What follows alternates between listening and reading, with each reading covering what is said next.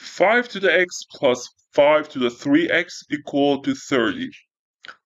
Please don't forget to subscribe and turn on the bell. So here we want to use changing variable. So I define what I call this one a. It means what? 5 to the x equal to a. So 5 to the 3x equal to what? So it is 5 to the x plus 5 to the 3x. You can say 5 to the x to the power of what? The power of 3 equal to 30. So the first part is what a plus a cubed equal to 30. If we take all things to left hand side, at first I write a cubed, then plus a, 30 to left hand side, negative 30 equal to 0. Now here, when you have uh, a polynomial, the degree is greater than 2. For degree 2, we know we can use quadratic formula. But here, one of the most useful way and typical way is to find one root.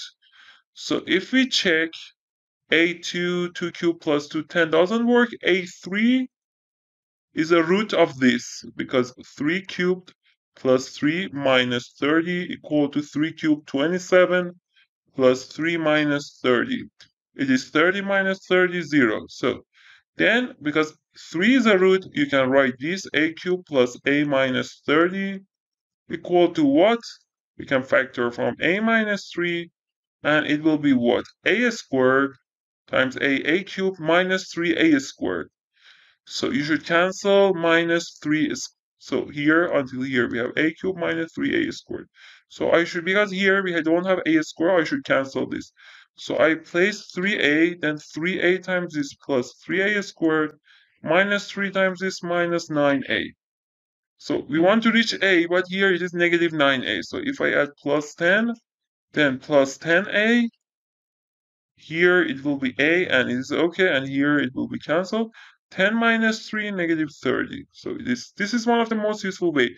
You check the numbers, for example, a3 works, 0, so a minus 3 is one factor. Then like this, you can find next factor. So it is this. So it is 0, so we know this part is 0.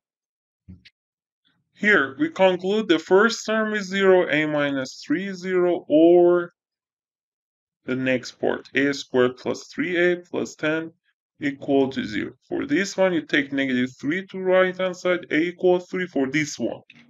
For the next part, it is a quadratic formula in terms of a here. The formula is this. It is, we call it discriminant inside the square root. It should be at least 0. If we calculate discriminant here, it will be what? b squared. b here is 3, 3 squared minus 4. a is 1, the coefficient of this. C. It is 9 minus 40 is negative 31 less than 0. If discriminant less than 0, we don't have any answer here.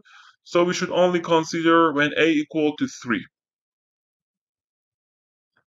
a is 3, we said a is 5 to the x. So 5 to the x equal to 3. So here we can take a log from both sides in the same base. For example, log, you can consider ln, base e, or base 10. It's not important. Log 5x equal log 3. So by this rule, you can say logarithm rules. You can take x in front of log, x log 5 equal to log 3, and by this, if we divide both sides by log 5, it will be log 3 over log 5. So the answer is log 3 over log 5. Please don't forget to hit the subscribe button and turn on the bell.